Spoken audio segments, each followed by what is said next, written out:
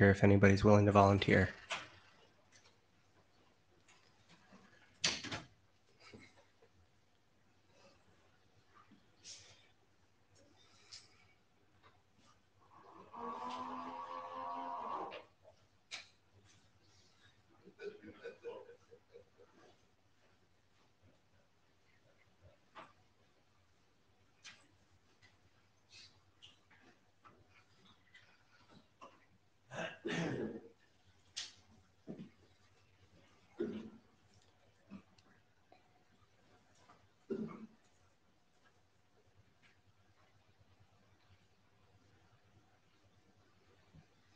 Give it one more minute. We'll get started.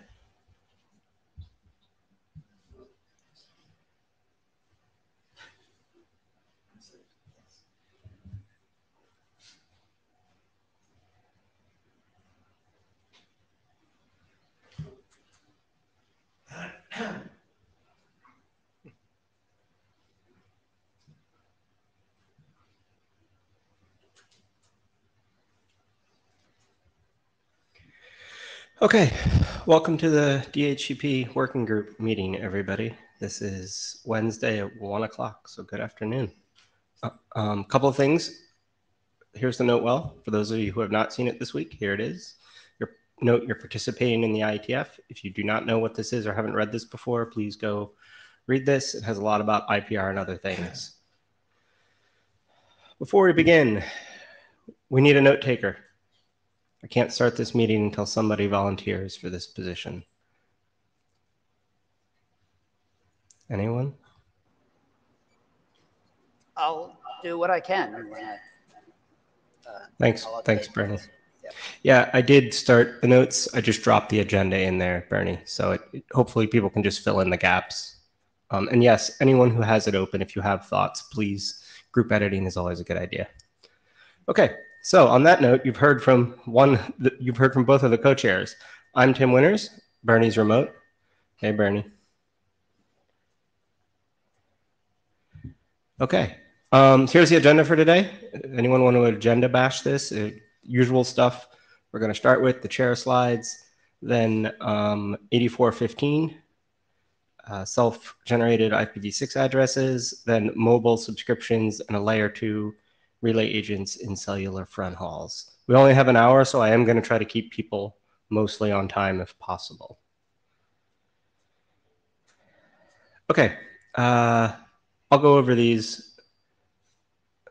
So the there's two documents currently that are working group documents, and they're both presenting today. So that's always good news. You're going to hear more about those.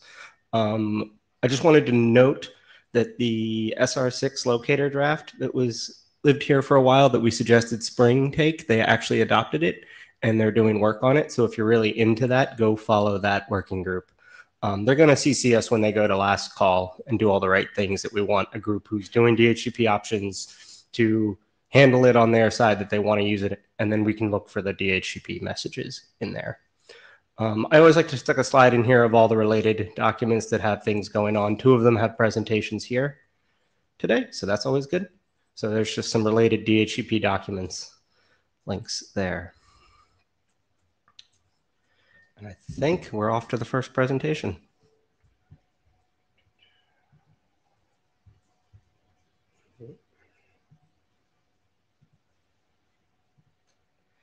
Okay, I think this one's actually going to be the shortest one we've done on this because where we're at is, and Bernie, feel free to say anything you want to say here. Um, Bernie, actually, do you want to talk to the slide? Might be better if you do it.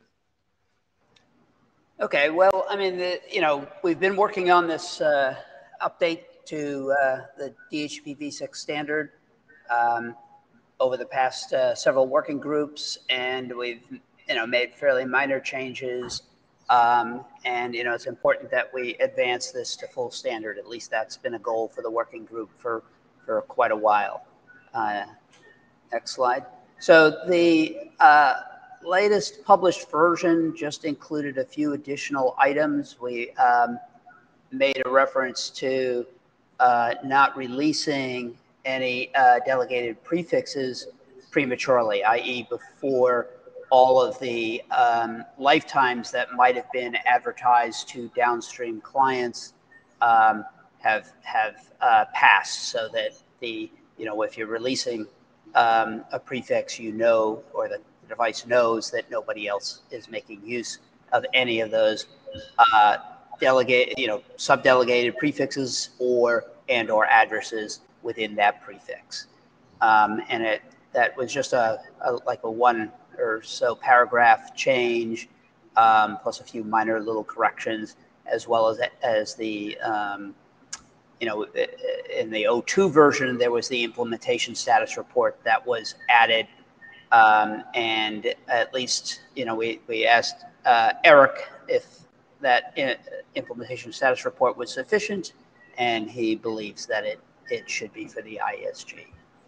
So uh, this is now in working group last call.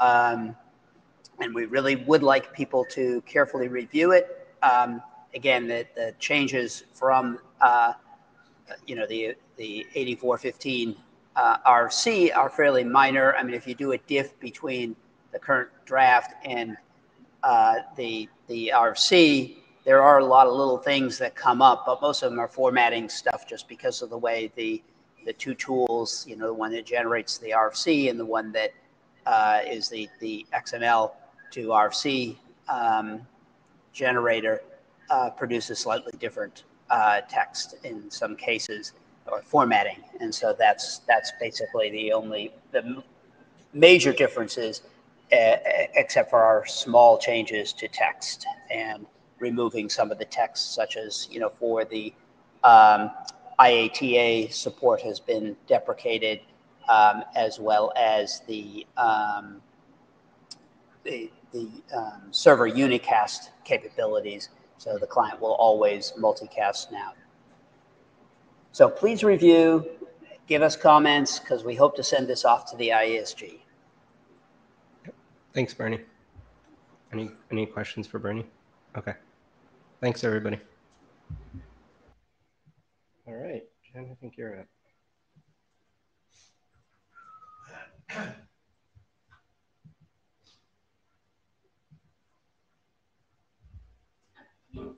Yeah, you're up.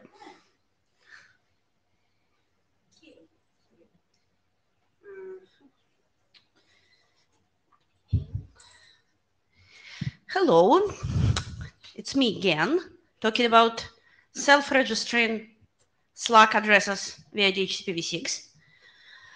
Uh, since last time, we actually moved from 00 to 05. We went through the last call. So please don't say that IETF is very slow. We can move fast if you want. So uh, the main, like, I think it was probably the biggest issue uh, raised during the last call. The, the reason why we're actually talking about this draft now is a valid concern was raised about excessive multicast because initially the draft was talking, suggesting that the client just retransmits the packets until it either get acknowledgement from the server or just do an exponential backoff. So is, if there is no one listening, well, it will be few packets. Uh, so in new version, we changed that. So now the network infrastructure will give the client an explicit signal if the registration mechanism is supported. And obviously, if it's not supported, the client would stop doing this. Also, the probably another change I'd like to mention is the change which was already in the text in the last IETF, but I don't think we, like if talking about Oh, no, it was not there, sorry. So it was introduced before the last call. We slightly changed the registration, retransmission, and refresh logic to make sure that server always has up-to-date information about addresses. I'll talk about it in a second. But first, yeah, what changed in terms of signaling the registration support? So what we did, Ted suggested that we uh, use an information request message initially, like uh, and send registration, first registration message inside the information request, and then fall back to already proposed mechanism. This sounds like kind of strange because we would have had two different ways of signaling the registration. So what the draft suggesting now is that before starting any registration, the client sends an information request message, the standard thing for stateless DHCP v6. And into in option request option, it will include a new option, which is like zero length Boolean option called address registration enable, basically asking the server, do you support this stuff or not? And that is standard information request. It sends from link local source address to all servers multicast. So nothing new here, right? And obviously, if the server supports that stuff, it will respond and it will be an explicit signal for a client that it can start sending registration. And uh, as draft always been saying, registration ascends from address being registered. So we're kind of using the standard mechanism to get the signal. So idea is, yeah, so the client must not start saying, sending any registration requests until it explicitly receives the other reg enable. Obviously, it will periodically resend information requests based on the timer proposed by the server, which means the client will be able to detect the changes in the registration support. So obviously, if no server supports the mechanism, no response, no excessive multicast noise, the client just shuts up. If all servers support the mechanism, client keeps continue registering as soon as it gets the first uh, reply. It might be a temporary situation when some servers on the network support this and some not. For example, wait, it might be misconfiguration or it might be incremental rollout, right? I'm obviously not going to add this to the all servers in the same time. Well, in this case, what draft says, as long as you get the, you sent a, a information request message, as long as at least one reply contains adreg enable option, it means that there is someone on the link who can listen to you. And then clients start sending it. Uh, if after, when it sends the information request next time after a while, right? If it does not receive any responses, well, it means that maybe all servers disappears, right? so it will not send anything until it gets the positive uh, signal. So hopefully that's the best way of reduce the noise while still maintaining ability. So basically, yeah, we sing, we're sending a single multicast packet. Well, assuming there is no packet loss, right? And in one RTT, you get in a clear signal if there is a DHCP server on the link, on the network, and if it's willing to support. So basically, it's a simple stateless DHCP when you basically exchanging information request and reply.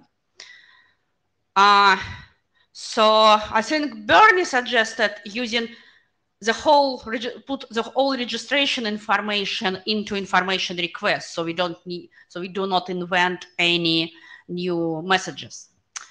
Why we still prefer to do what draft does now because i looked at 8415 it is actually must contain a lot of other stuff right? So you cannot just send information a request with minimal uh, things right? You need to put a lot of other things. Also to ensure that information registration information is not spoofed we'd like to send information request from the address being registered which means uh, we start sending information requests from global sources, and it's absolutely unclear what the network infrastructure might do about that. Some devices might be unhappy. Also, again, because information requests must contain a lot of other options, and the host will probably uh, would have many addresses, right? We basically start sending a lot of unnecessary things on the network.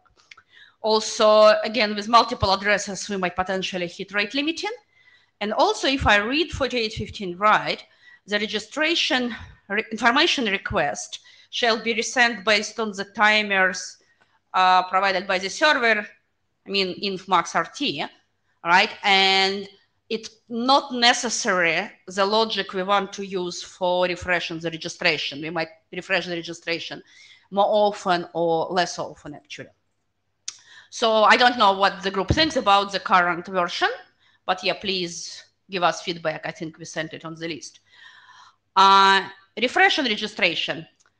I would please read the draft. It basically, it might look a bit like sophisticated, uh, but the idea is we want this network, when the server, always know that uh, if the ad particular address is being used, I mean valid, right? So we don't want the network to believe that address is not valid while the host is still using it.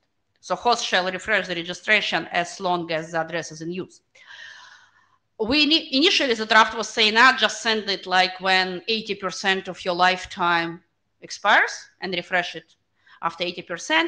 But it's actually tricky because the host might receive an RA which will increase or decrease lifetime of the particular address, right? So uh, what we're proposing is when host configures an address, it does schedule the next refresh to be sent at like 80% of the lifetime in the future. But every time it gets an RA which changes the lifetime for some significant amount of time, not just a few milliseconds or few seconds, right? Then the host looks, now, shall I send it earlier or shall I send it later? How, what the new timer tells me, right? And if there is a refresh scheduled and the new RA actually moves in sooner, then it will send it sooner, which basically means if I sent you initially a lifetime of like three weeks, and now I'm telling your lifetime is actually uh, five minutes, right, you will update the server. And if there is no refresh schedule when the uh, uh, RA is received, then the host will just schedule a new refresh. So basically, and if there is no RAs for the particular prefix is received from now on, the host will just use the address, refresh it uh, when it expires, and then it just slowly die. We also allow clients, when it follows that option, just if, if the client wakes up to update on one address or and found out, ah, I'm going to send another update in like 60 seconds, I'm not going to sleep, I'll just update everything just to save the battery. Uh, we actually spent some time drawing different potential scenarios and RAs and what's going to happen with the lifetime and refresh, because you obviously do not want refresh to be sent every time you get an RA, because you might get RAs quite often. I know that my home router, one of them once tried to send me RAs every two seconds. So obviously it's not a desirable outcome for sending uh, registration refresh every time. So I know that the current text has some things which needs to be cleaned up, as Bernie kindly pointed out. Yeah, I missed up the option name and uh, that behavior about re information requests and what to do with inconsistent configuration needs to be rephrased. We also saw IANA uh, review, but besides that, uh, I'm curious, what does the group think? Uh, more comments, suggestions, or maybe another last call? Because I think the draft is rather stable and we address the primary concern raised during the last call. Anyone have any comments before we talk about the last call part of it?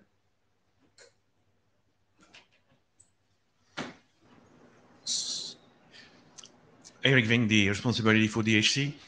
I would prefer to do another working group last call. It's only two weeks. Yeah, no, no, I'm saying like work, enough, obviously it's what I'm asking you. Another working group last call here on the updated. The, the, protocol is changing in a good way. Oh, no, no, no, no. I'm not saying uh, call the previous last call done. No, I'm asking we will probably submit another version by the end of the week to address existing comments and maybe what people tell us now. And yeah, I, am asking for another working group last call on the 05, obviously. Yes. Or in agreement then. Yeah, Perfect. I think we all agree. I, I, think we can do that next week. We'll wait for anything that you guys get this week and do any feedback. Bernie, does that work for you? Yep. Yeah, the only other comment that I would have, and it's just a clarification, is if you go back to slide four for a second. Um, yeah, there. You know, this if some servers support the mechanism, right, is is a is kind of an interesting thing because you know it says well you know it, it it, most clients probably when they get one information request are going to you know whatever first one they get uh, is the one they're probably going to accept they're not going to you know process all the information all the replies they may get to an information request So in this kind of incremental thing, it'll probably be random as to what whether clients will send or won't send because you know depend on the first information request reply that they get. I mean, I'm not sure that that's a problem because I think we, you know, it really makes no sense to have the two servers or multiple servers configured differently, and it would just be considered a, uh, you know, network misconfiguration. So, you know, it is something that is, you know, you really have to have all the servers uh, configured the same way. Ah, okay. Yeah, thank you. Because I actually read, uh, I looked in uh, 8415 and I was not sure, yeah, what's happened if you get different answers.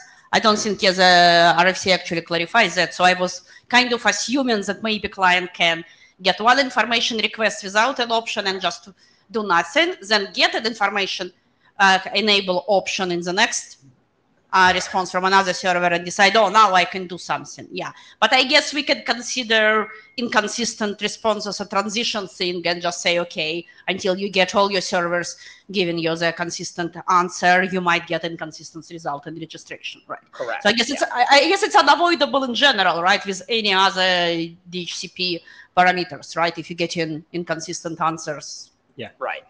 Yeah. So nothing new here, nothing like particularly bad compared to what's happening. Okay, yeah, I will Yep. clarify the text. Thank you very much. Uh, Tim has a comment, looks like. Hey, Tim.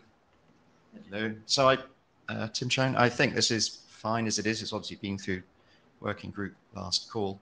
Um, my question is with the DHCP PD to the host, I would presume a host would still have a, an address or addresses on, say, the Wi-Fi interface if this was a, my laptop on the campus network, and it could use this. But what about the host that I'm tethering to or the VMs inside? Might those use this? And if so, what's the responsibility on the host then? Does it have to be a DHCP relay or how, Um, how, do you, how do you see this working in, in that environment or is that out of scope completely?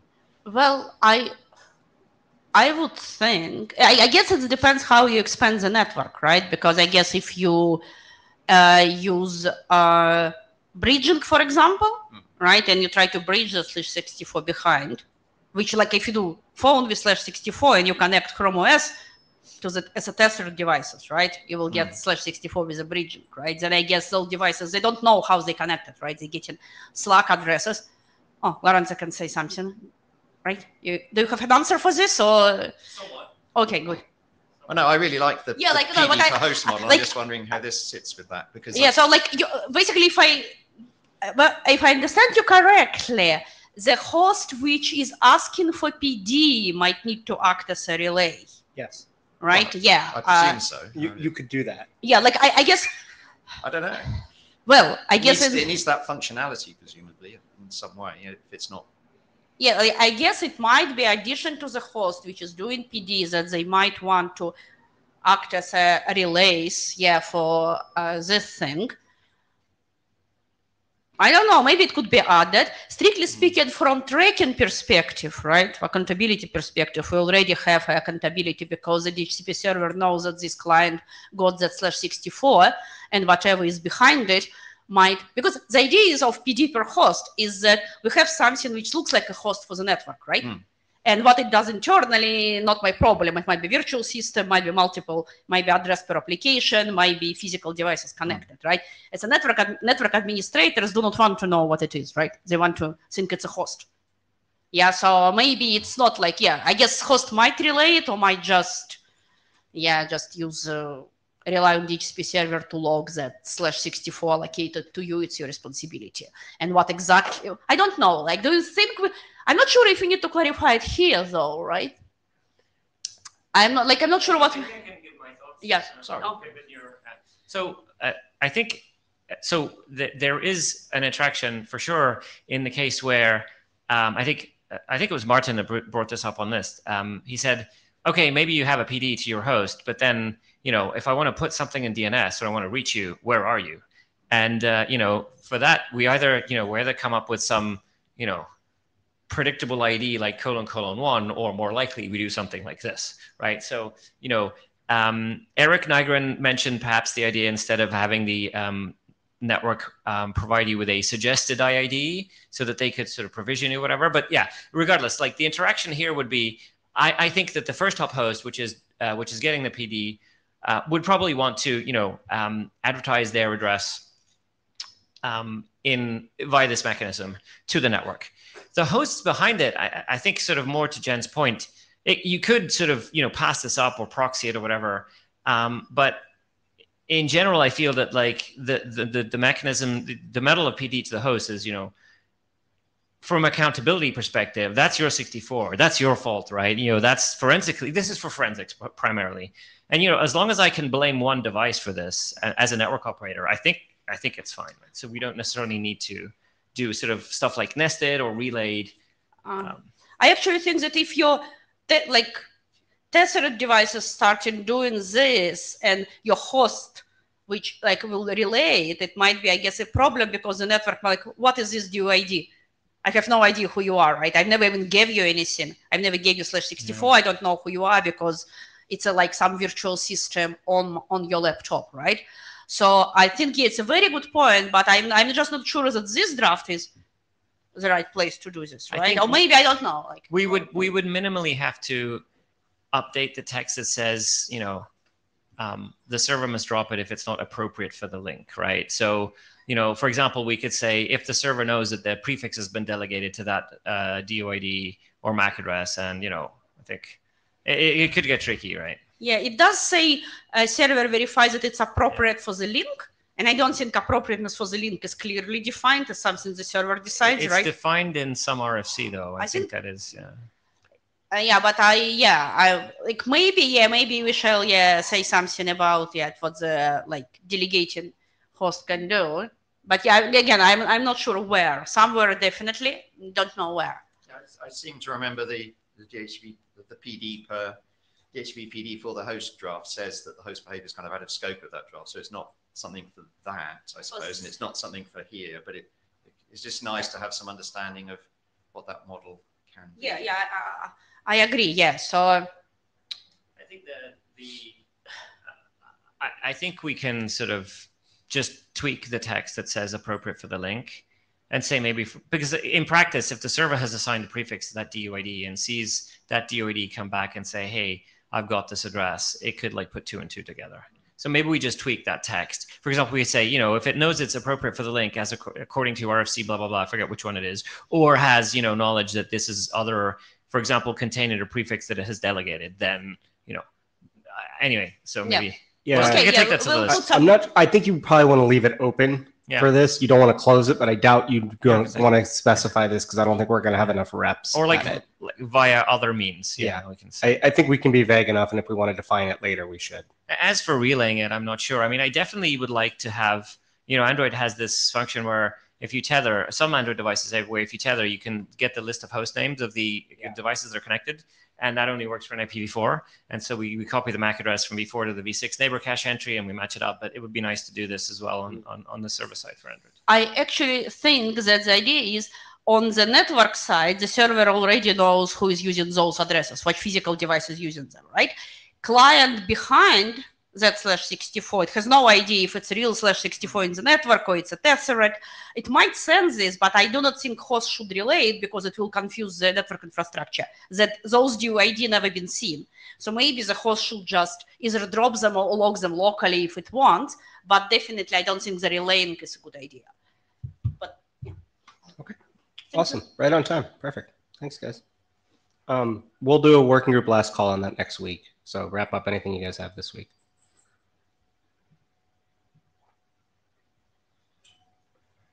Think we're doing mobile subscription.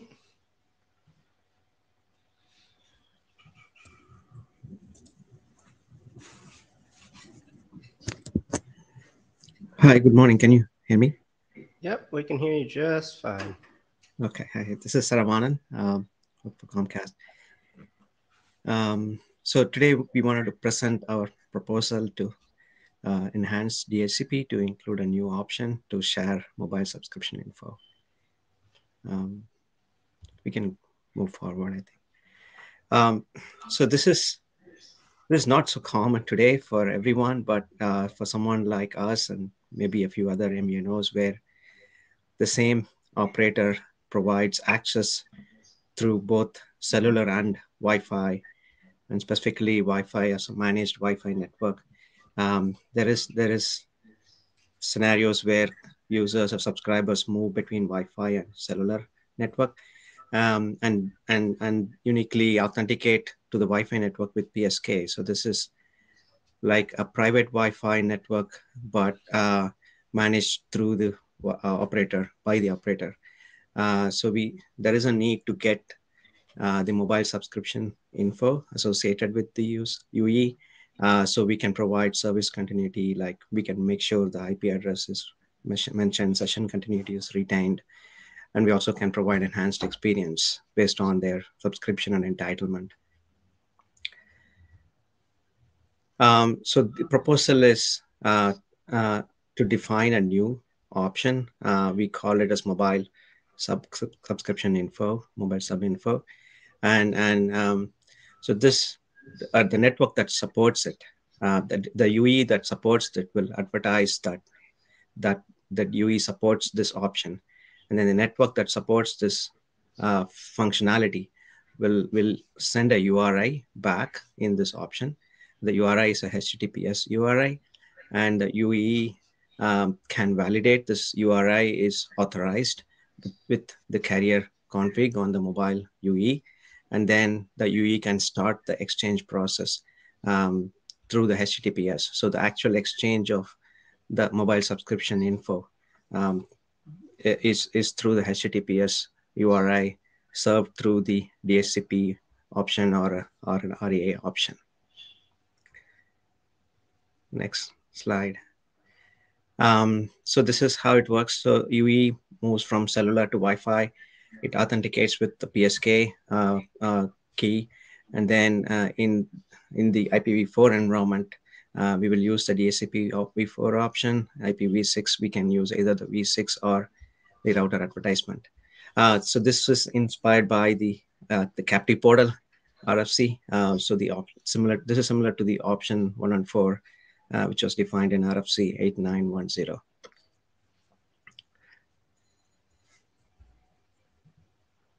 Next slide. Um, so this is how we envision this to work in an IPv4 environment.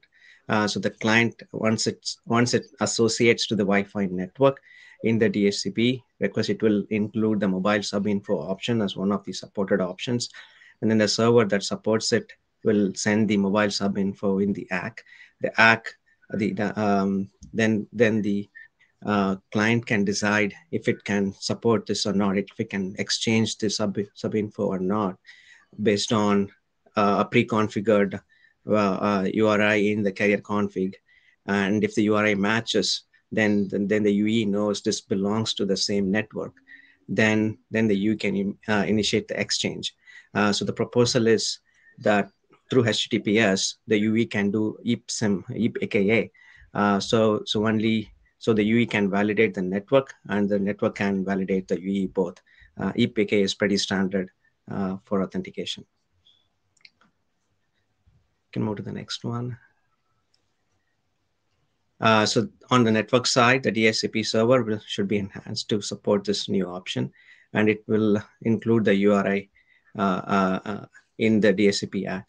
Now, it can include even if the, you, this, the DHCP server can always send this and the UE can ignore it if, if the UE does not support this. And in the IPv6 world, um, so we, we, we envision that the UE will include this option as a supported option in the solicit. And then, and then the DSP, uh, the server can reply, uh, include the URI in the reply message. Um, if the if the UE supports DHCP v6, if it's not, then the then we will use the RA, uh, IPv6 RA to the network will use the IPv6 RA to broadcast the support, and it will also include the URI in the RA option. Yeah, um, I think think we covered this. And this is the RA option in cases where, it, yeah, um, yeah, I think you're good. Yeah. Keep going. Yeah, we can go. Uh, so there are some considerations. So there are um, one is like multiple SIMs. So so this is the dual SIM scenario. So our proposal is the client or the UE will use the default data subscription SIM for this uh, uh, sharing the subscription info. And then uh, a network that supports this in v, V4 and V6, um, we, we, we, we should use the same URI. We propose to use the same URI for consistency reasons. I think that's it. Okay, you got some people lined up to talk to you. Uh, Lorenzo Colitti. Uh, so, um, I have a couple of questions. First of all, um, how would how would a host know when to send this, right? So let's say that you're, you know, uh, this is like I think from Comcast, right, or Xfinity. Let's say let's say yeah. that I have an Xfinity subscriber, right, on the mobile side. Um, when I connect to Starbucks, am I going to send this? And so first of all, is Starbucks going to know that I'm, you know, that I do this? And then uh, second of all, is like if I get the URI I guess you know, did that like the the the the um, the, um, uh, the, the, the mobile carrier track the the device or not? So so first to answer the first question, how does the uh, host know that it has to send the info? So um, the the URI that's advertised by the network, we we we propose that it be configured in the in the mobile carrier config so the UE knows that this Wi-Fi network belongs to the same wireless network, so it can validate it. And only if it matches, then it can send the start exchanging the uh, subscription info. So you would want to always ask for this then? Right. Okay. Yeah. And the other question is, um, in sort of a while ago, we we did a bunch of work in INTAREA for for provisioning domains, right? And it um, it, uh, it it the sort of the authors and the folks working on that effort uh, asked themselves the question: what what should go into things like DHCPv6 and RA, um, and what should go into things like the provisioning domain? And we kind of, you know, the, the, the folks involved at the time kind of concluded that the things that needed to go into, into DHCPv6 and RA were like things that were essential to bootstrapping and things that could be sort of that it was okay to defer a little bit later uh, would be uh, would instead were instead better in the um, in the uh, PVD information. Now, the thing that strikes me about this is that this you already have a dependency on an HTTPS URI fetch, so it feels like this should just go into the PVD information. You just put it there. Um, so, yeah. Got it.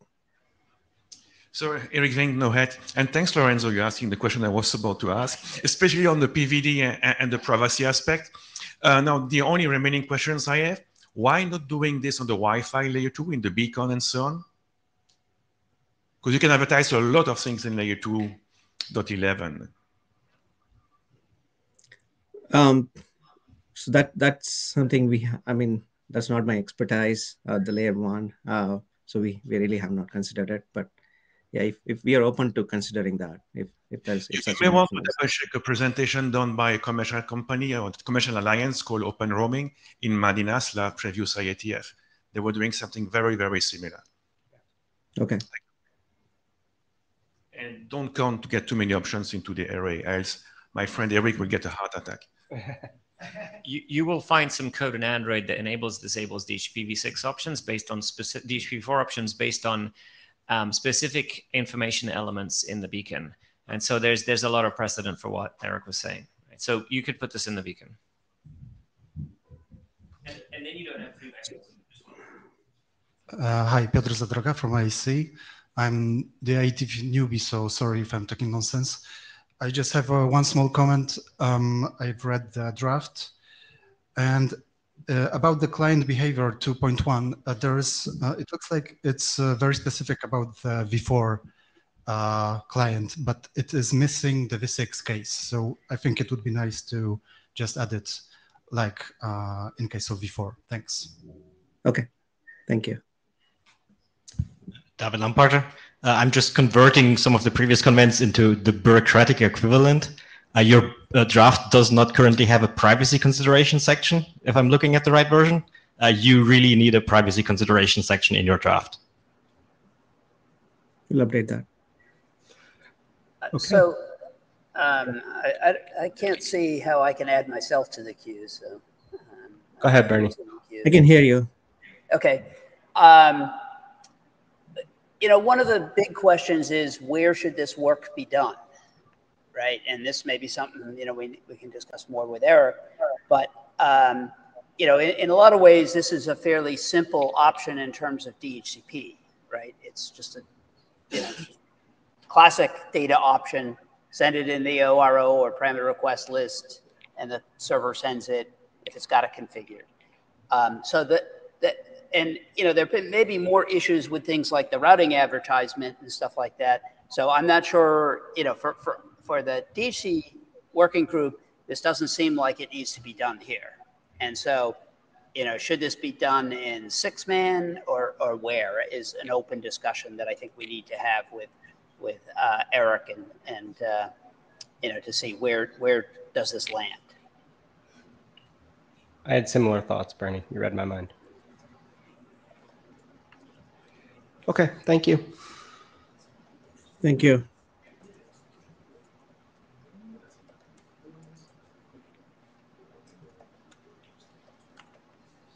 Okay, last presentation.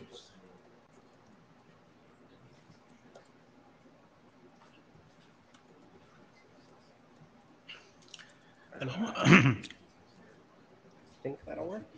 Hello, Claudio Porfiri, Ericsson, and uh, here I'm talking about something that uh, may be interesting for you.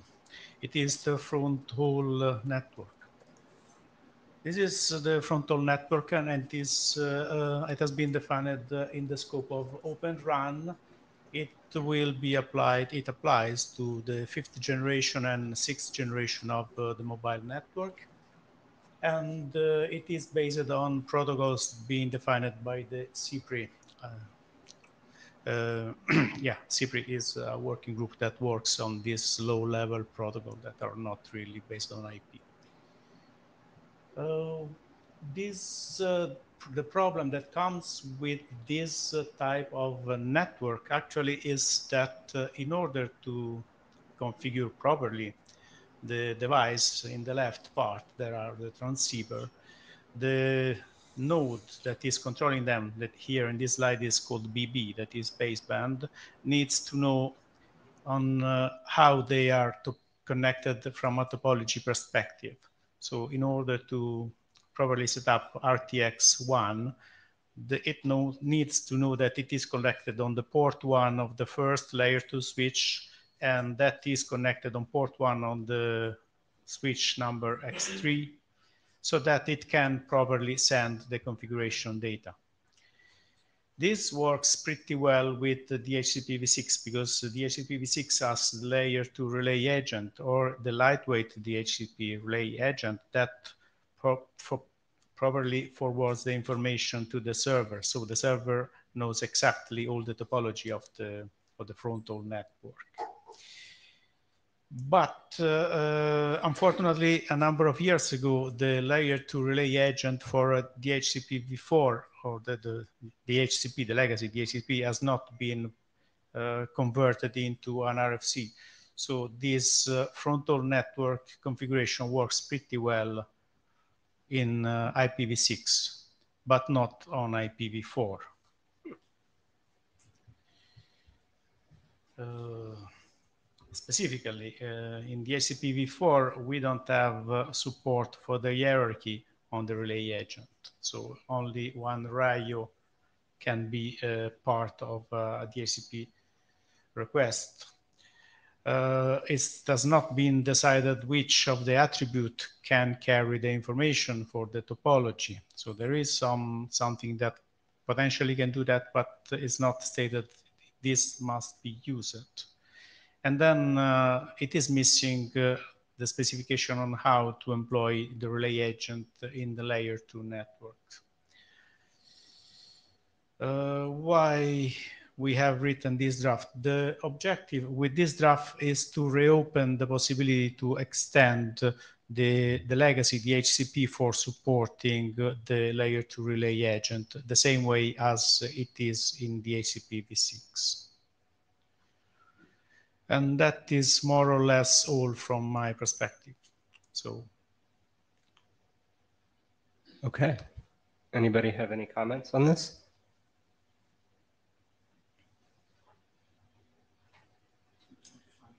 Eric Vyncke, um, no specific yet at all. I, I just wonder whether DHCP is the right protocol to do this rather than something else.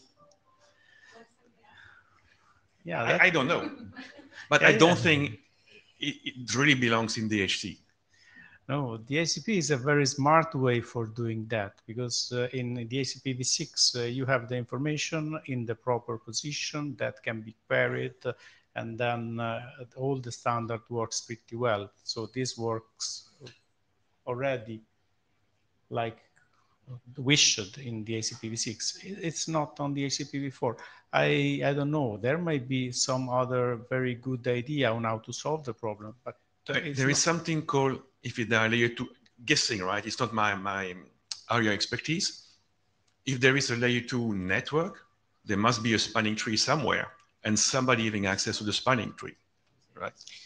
Uh, but uh, here it is a matter of the of knowing the, the physical information about more than a spanning tree. So you, you can do you can define a number of level of VLAN on the front uh, all.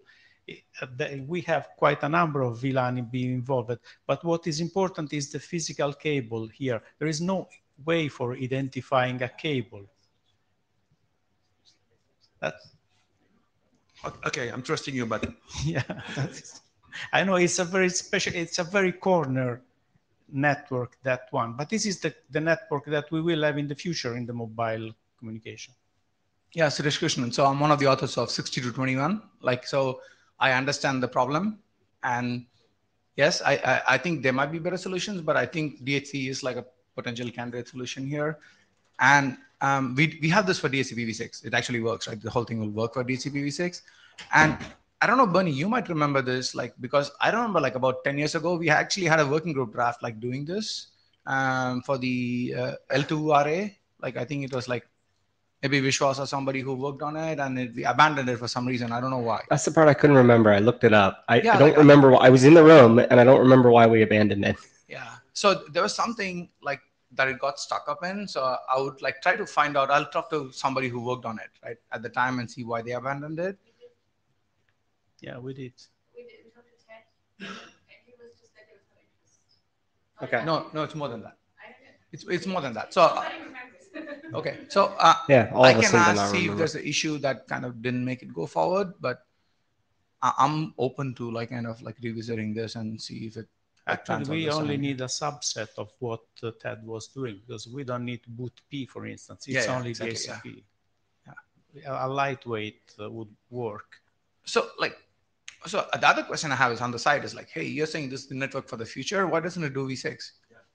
Right? Like it's that, that that would like be my like biggest like thing for that, right? Like so it's uh, yeah. I think that you can. The, the big problem uh, with uh, supporting only IPv6 is that you cannot go and force all the operator that have million of radio installed to change them over IPv6. That, that is, uh, it is quite a strong point. right. Like, but so um so this is like also for legacy radio. You want to go back and That is only for legacy radio and for, for operator that have uh, IPv4 on the, on that network. So- Okay. Because like when I saw eCPRI, I would think like you know you're replacing the RRU and DU, and they're both going to be new, right? That's kind of my underlying assumption. So Yes and no, because it is not a matter of replacing, it is a matter of uh, doing a software update because there is a lot of things. And normally these uh, transceivers, they have, they are not a very powerful device. So they have little capacity, little CPU, and all is working on layer two. So it is only a small channel that does basic operation and maintenance on IP that we exploit to find the, the, the, the identity of the radio. okay, perfect. Thank you. Thanks. Thank you. Uh, David Lamparter. Uh, Suresh is giving me a great lead in. Uh, there's an RFC for DHCP-v4 over DHCP-v6. Um, I don't think it currently applies to relay operation, um, but I think what you're asking for is equivalent co- uh, features as are already there in DHCP-v6 for v4. And you are asking for vendors to update the L2 relay agent, right? Because the L2 relay agent would change behavior with your suggestion. maybe a better way would be instead to change it in a way that it instead encapsulates the DHCP v4 requests in v6 and you just use the existing infrastructure. That way we also get more v6? Well, this, the, the, the, the draft is still a draft. It can be done in a number of ways, so ideas are welcome. Please, uh, Jari. Uh, one of the co-authors uh, for Claudio's uh, draft. Um, yeah, just sort of highlight where we are with this. So this is we're bringing a, a, use case. Um, it's like you know one example. Perhaps there might be other examples where this kind of feature would be useful. Um, and we're kind of open on exactly how to go about it. There's sort of some preference that it's somehow related to DHCP, given that the V6 case is already handled through that, and whether it's sort of reviving the old drafts for doing this, or or you know some carrying uh, V4 in in V6. Um, maybe that's a detail, and we we could talk about that, and, and certainly your your opinions on that is is welcome. I was unable to find back the protocol name, uh, my first talking. There is something called LLDP. Uh,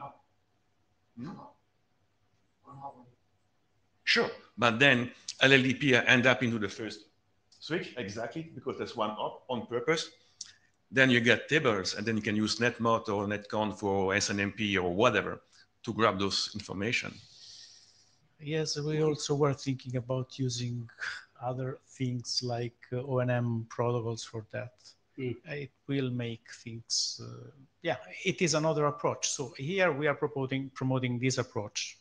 That's, it can be done in a different way, yes. Okay. Thanks. Thank you. Okay, I think that was everything we had on the agenda. So good job, guys. Got 10 minutes. Um, just quick wrap up things. We're going to send the 8415. This is our, please go look at that working group last call. It ends November 20th. Please get your comments in, take a read of it. Um, we want to move that along. And then um, Jen's draft. Uh, we'll do a working group last call on that next week after we wrap up this week. And I think everything else, take a look at those two drafts that we talked about today. I think there was a lot of good feedback. I don't have anything else. Does anyone have anything? All right, we'll close it down. Thanks, everybody. Thanks, Bernie.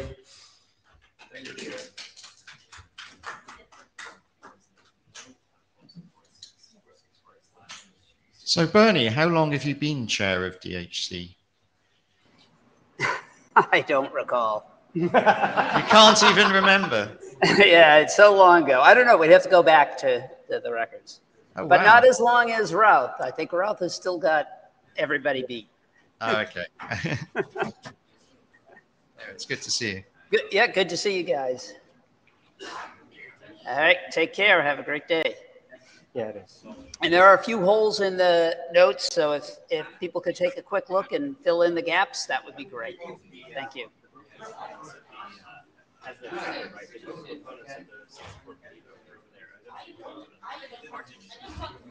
So if you, if you wanted to go, I mean, I don't know if you do want to. I guess you can like just say what he said, but I think he's he's sort of coming around I think a little bit. So yeah, yeah, not Let me wrap up this stuff. I'll see if I can draw. I'll send him a note actually.